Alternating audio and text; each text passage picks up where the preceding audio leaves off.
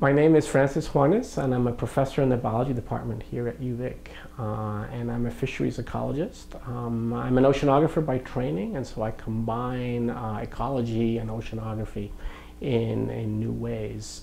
Um, we call it fisheries because we work on organisms that are harvested or that have interest uh, to humans.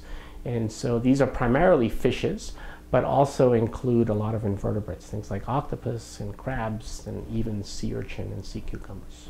There are people like First Nations people and recreational fishers and commercial fishers uh, that harvest these organisms for one reason or another. And so we need to be able to build management plans in order to harvest these organisms sustainably.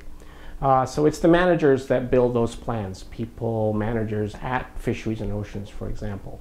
But they need the basic information and the basic data to be able to build their models and their plans. And so what I do is provide that basic information, study the organisms at the organismal level, and then provide that information to them so that they can try and manage the species.